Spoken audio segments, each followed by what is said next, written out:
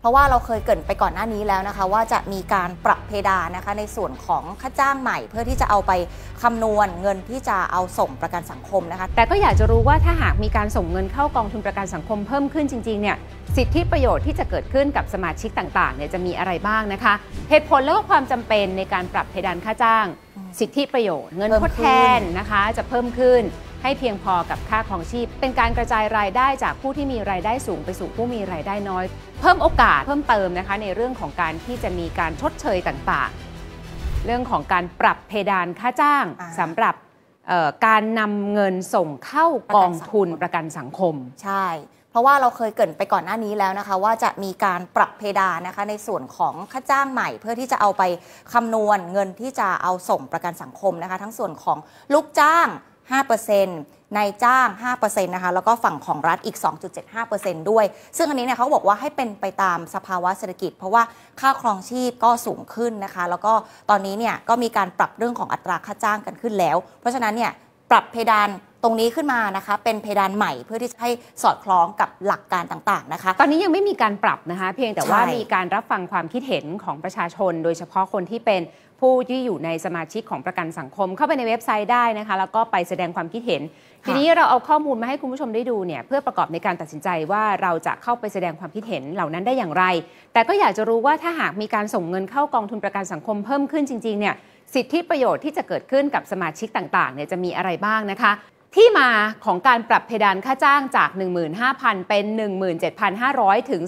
23,000 บาทนะคะ หลักการสากลในการกำหนดเพดานค่าจ้างนี่กระทรวงแรงงานบอกว่า ค่าจ้างเฉลี่ยของผู้ประกันตนทุกคนเนี่ยจะคูณ 1.25 และจริง ๆ แล้วก็ควรจะปรับขึ้นทุกปีด้วยค่ะส่วนปี 2565 ค่าจ้างเฉลี่ยผู้ประกันตนตามมาตรา 33เนี่ยนะคะ จะอยู่ที่ 18,400 บาท ดังนั้นก็ควรปรับเพดานค่าจ้างเป็น 23,000 บาทด้วยอันกันนี้ค่ะคูณแล้วคูณ 1.25 แล้วอะทีนี้พอคูณเสร็จปุ๊บเขาบอกว่าไม่ได้ปรับทันทีนะเพดานค่าจ้างเนี้ยจะปรับตามขั้นบันไดนะคะค่ะซึ่งในช่วง 3 ปีแรกนะคะ ปี 67 ถึงปี 69 จะอยู่ที่ 17,500 บาทเนี่ยอยู่เปอร์เซ็นต์อยู่ที่ประมาณ 75%ของ 23,000 บาท และถัดมาปี 2570 ถึง 2572 นะคะ ก็คิดเป็นประมาณ 86%ค่ะของ 23,000นะคะค่ะอยู่ที่ 20,000 บาท และตั้งแต่ปี 2573 เป็นต้นไปก็คิดเต็มเลยนะคะ 23,000 บาทค่ะนี่คือวิธีการคิดนะคะ เบื้องต้นเนี่ยจริง ๆ พอคูณ 1.25 แล้วมันควรจะกระโดดขึ้นไปเป็น 23,000ใช่แต่บอกว่า โอ้โห ถ้าขึ้นไปที 23,000เนี่ยคงไม่ไหว แบบนั้นก็ปรับเป็นขั้นบันไดในช่วงปีแล้วกัน สุดท้ายเนี่ยก็คือกลายเป็นที่มาที่ไปว่าจะต้องมีการปรับขึ้นทุกๆ ปีค่ะแล้วสูงสุดที่จะปรับขึ้นสำหรับเพดานขั้นสูงสุดคือ 23,000 บาทต่อเดือนสำหรับผู้มีรายได้นะคะ เหตุผลแล้วก็ความจำเป็นในการปรับเพดานค่าจ้าง สิทธิประโยชน์ค่ะอ่าเงินเพิ่ทมดขึ้นแทนนะคะจะเพิ่มขึ้นให้เพียงพอกับค่าครองชีพ บางคนบอกว่าในปัจจุบันนี้พอไม่ได้อยู่ในที่ทำงานค่ะได้เงินจากประกันสังคมมันไม่พอคุณลลิตา ไม่พอกับมันอาจจะน้อยค่าไม่พอรักษากับพยาบาลเอก็อแพไม่งพอกับขึ้นเรื่องของการชดเชยรายวันต่างค่ะๆเนี่ยนะคะ นอกจากนี้เป็นการกระจายรายได้จากผู้ที่มีรายได้สูงไปสู่ผู้มีรายได้น้อยก็คือ ในระบบประกันสังคม ก็จะมีคนที่แบบว่ารายได้น้อยค่ะ แล้วก็มีรายได้สูงสูงๆคนที่รายได้สูงก็คือต้องส่งเงินสูง ส่งเงินใช่ไหมคะก็ตามเพดานที่เขาตามสัดส่กำวนหนดแต่ว่าส่วนใหญ่คนกลุ่มนี้อาจจะค่ะไม่ได้ใช้ประกันสังคมอ่าเพราะฉะนั้นเงินทั้งหมดเนี่ยก็จะอาจจะต้องไปเอาไปช่วยเหลือช่วยเหลือหรือว่าให้สิทธิประโยชน์กับผู้มีรายได้น้อยนะคะค่ะเพิ่มโอกาสนะคะเพิ่มเติมนะคะในเรื่องของการที่จะมีการชดเชยต่างๆสิทนะธิคะประโยชน์ก็สิทธิเพิ่มประโยชน์ ลูกจ้าง 5%นายจ้าง 5%รัฐบาล 2.75%ปัจจุบันสังใช่ประกันสังคมเนี่ยคือ 3 ส่วนด้วยกันค่ะนะคะผู้ที่ทำงานในจ้างใช่แล้วก็รวมถึงรัฐบาล ปัจจุบันเนี่ยจ่ายสูงสุด 15,000 15,000 บาทเนี่ยอยู่ที่ 750 ค่ะ ทีนี้ก็จะเพิ่มเป็นในปี 2567ถึง69 เนี่ยเป็น 875 ค่ะ เท่ากับว่าในช่วงนี้เราจะจ่ายเพิ่มขึ้น 125 บาท ใช่ นะคะ ถัดมาปี 70 ถึงปี 72 ก็จะเป็น 1,000 บาท ก็จะเพิ่ม 125 บาท เช่นเดียวกัน ไปจนถึงปี 2573 เป็นต้นไปเนี่ยจะเพิ่มจาก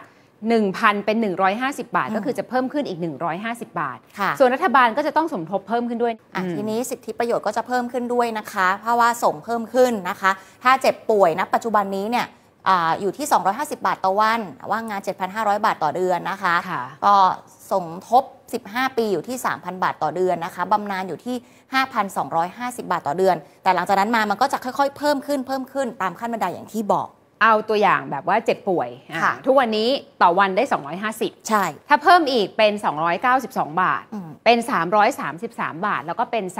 383 บาท เดี๋ยวให้คุณผู้ชมดูเต็มๆ จะได้เห็นชัดๆนะคะค่ะการว่างงานนี่สำคัญเลยเพราะบางทีถูกเลิกจ้างอะไรบ้างเนี่ยนะคะ 7,500 บาทในปัจจุบัน 800 8,750 บาทค่ะนะคะ แล้วก็เพิ่มขึ้นถัดไปเนี่ยหมื่นหนึ่งอย่างเงี้ยค่ะพออยู่ได้นะคุณลลิตาใช่เดือนละหมื่นใช่สูงสุด